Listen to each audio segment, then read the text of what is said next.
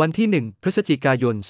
2567 จากกรณีนายธรรมราช สารปัญญาหรือทนายธรรมราช เดินทางมาแจ้งความกับอาจารย์บีคนตื่นธรรม ในข้อหาตามประมวลกฎหมายอาญามาตรา 206 แต่กลับถูกชายปริศนาบุกตบปากและล็อกคอต่อย ระหว่างให้สัมภาษณ์กับสื่อมวลชนนั้น ต่อมานายกันถัดพงไพบุญเวทหรือกันจอมพลัง ได้โพสต์คลิปตัวเองแสดงความคิดเห็นถึงเหตุการณ์ดังกล่าวว่า มันเกิดเหตุที่ไม่คาดคิดขึ้นมาแล้วครับ ภาพแบบนี้มันเกิดขึ้นได้ยังไงครับ มันไม่ควรจะเกิดเรื่องแบบนี้ขึ้นเลย ผมเห็นแล้วเจ็บปวดครับ เสียใจ อย่าใช้ความรุนแรงแบบนี้เลยนะครับ มันไม่ดีเลย หันหน้าเข้ามาคุยกันเถอะครับ แต่ผมก็คงจะห้ามอะไร พวกพี่ไม่ได้ แต่สุดท้ายนี้ก็ขอให้พี่มือหายเจ็บเร็วๆนะครับ กดติดตามต่อกดค้นหา พิมพ์คำว่า